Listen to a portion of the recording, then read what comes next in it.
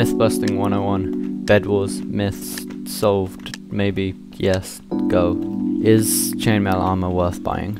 So from a 16 block fall, you take this much wood leather. Got about three and a half hearts left. Whereas with chainmail armor, you should take about, okay, it's four hearts. So you get about an extra heart, half a heart with chainmail armor. Yeah, 40 iron for to half a heart is, is not really worth it. You could get a gapple, which gives you so much more health for less than that. If you're winning fights by half a heart, then you just gotta get better at PvP really.